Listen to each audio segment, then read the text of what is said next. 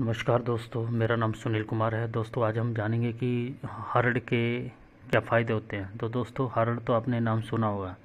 नहीं सुना तो आप इस वीडियोज़ में देख रहे हैं। ये जो सामने आपको पीले रंग की दिख रही है, पीले रंग की गांठ जो दिख रही है, देख सकते हैं, ये हरड़ है। एक काली होती है, एक पीली होती है। तो दोस्तों, इसका स्वाद जो होता है अलग अलग होता है। हरड़ जो होती है, हमारे देश में हर जगह पाई जाती है। हिंदुस्तान में हर जगह पाई जाती है।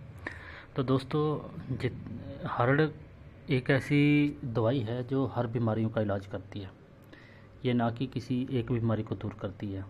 अगर आपके घर में हरड़ पड़ी है तो आप उसको संभाल कर रख लें, क्योंकि उसका चूर्ण जो होता है, बहुत काम आता है। उसको अगर आप मुँह में चबाने से बहुत सी बीमारियाँ दूर हो जाती हैं। तो आज आप इस, इसके बारे में जानेंगे, इसके क्या क्या फ़ायदे हैं। तो दोस्तों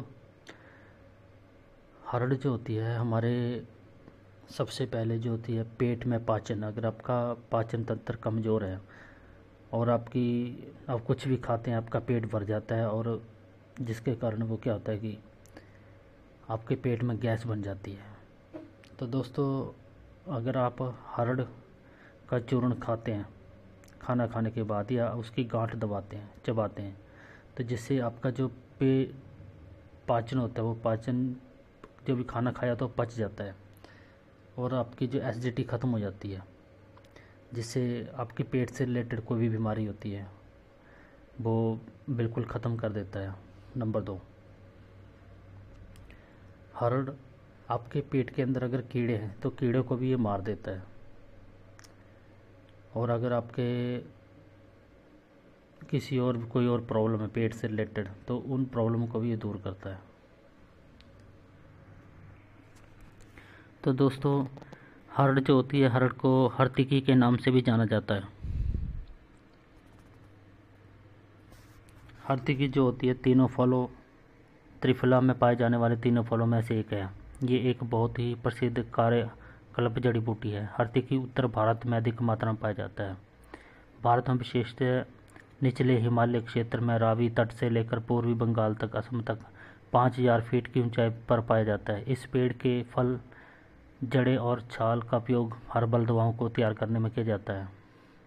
ये जो आप देख रहे हैं, ये हरड़ है। हरड़ फल एक गुठलीदार जैसा फल है, जिसकी लंबाई दो सेंटीमीटर और चार सेंटीमीटर, चौड़ाई और बारह सेंट एक पॉइंट दो सेंटीमीटर होती है। इसका आकार अंडाकार होता है। ये पकने के बाद हरे रंग से काले रंग में बदल जाते हैं। भारत में हरड़ को अनेक नामों से जाना जाता है। इसे उर्दू में, हिंदी में हर्द और तमिल में कदुकई और मराठी में हिरदा और असमिया में इसे ही लिखा और बंगाली में इसको होरी टोकी, कसैला और खट्टा होरी टोकी कहा जाता है। आयुर्वेद में इसे अमृता, प्राणदा और कायस्था आदि नामों से जाना जाता है। हरतिकी में नामक नमक को छोड़कर पाँचों रस, मधुर, तीखा, कड़वा और कसैला और खट्टा पाए जाते हैं। तो दोस्तों, ये तो सुना कि आपने इसके किस किस नाम से जाना जाता है?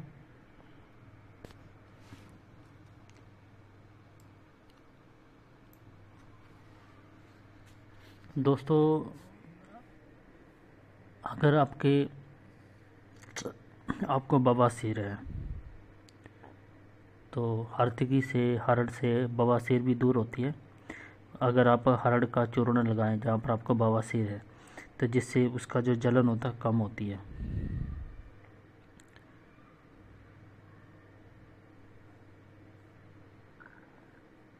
इससे हमारे पेट का पाचन जो होती है, पाचन शक्ति बढ़ती है।